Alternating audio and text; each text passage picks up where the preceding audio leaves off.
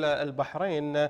في أكتوبر الماضي غردت عن البحرين وذكرت الحراك البحريني محق منذ البداية، لهذا بالتحديد لم يختفي. إذ لا زال المأزق قائما في البحرين بانتظار حل سياسي عادل، المأزق المأزق في البحرين لا زال مستمر باعتقادك؟ يعني بدليل أنه يوجد آه، يوميا إشكال، يوجد آه، اسبوعيا إشكال، يوجد كل جمعة قضية، آه، لا زالت معارضات في السجون ومعارضات في الشارع، لا زالت القضية مخنوقة، هذا لا يعني أن المطروح في البحرين كان أو لا زال إسقاط نظام وإنما كان المطروح في البحرين إصلاح النظام ولا زالت قضية الإصلاح مجمدة في البحرين، أنا برأيي أن من أكثر الدول أنا كتبتها في مقالي منذ أيام أكثر الدول جاهزية للإصلاح السياسي هي الكويت ثم البحرين.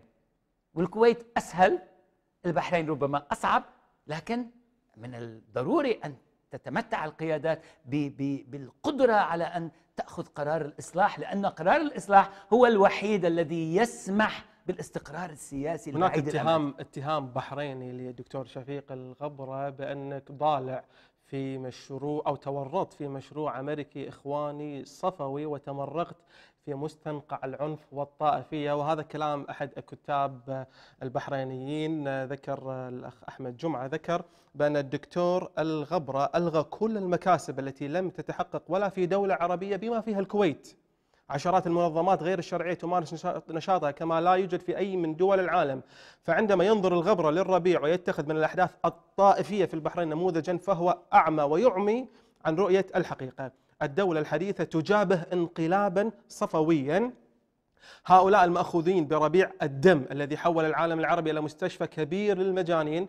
ومما يؤسف له أن أكاديمي مثل الغبرة قد تورط في هذا المشروع الأمريكي الإخواني الصفوي وتمرغ في مستنقع العنف والطائفية تورط في مشروع أمريكي طبعا يعني هلا صفوي وإخواني في تناقض. مع ذلك مع ذلك نعود إلى إلى البحرين. ألم تبدأ الأحداث في البحرين؟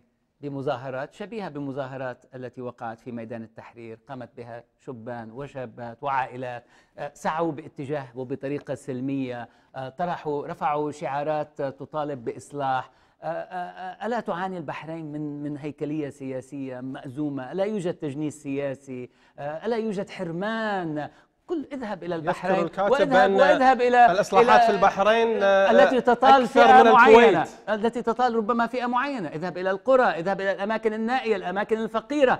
في هذه الجزيرة الجميلة في مبالغة ستكتشف. لا يوجد مبالغة. ستكتشف أن 60% من المجتمع وأغلبهم صدفت أن أغلب هؤلاء المهمشين من الطائفة الشيعية. يوجد من السنة مهمشين لكن الصدفة هذه مشكلة المجتمعات العربية. يعني نظام صدام حسين كأنه كون حلاله حوله بعض العائلات السنية وهمش الأغلبية الشيعية. نظام آه، السوري بشار آه، كون حوله فئة من من العلويين وفئة من الأغنياء السنة وهمش أغلبية السنة وفئات أخرى من المجتمع. لهذا عندما تقع عندما تقع الثورات نعم مع الأسف أنه عندما تقع الثورات بين الناس تقع أيضا على أرضية طائفية لأن تكون طائفة بكاملها قد همشت ولكن علينا أن نتعامل بطريقة تسمح لهذه الطوائف أن تخرج من الانغلاق الطائفي لصالح الإصلاح السياسي، لهذا أنا لست مع أجندة أنك تحول البحرين من من دولة بين قوسين سنية إلى دولة بين قوسين شيعية، وإنما تحولها إلى دولة لكل مواطنينها شيعة وسنة مسيحيين ويهود وغيرها وأن تحولها إلى إلى دولة دستورية تحكم بمؤسسات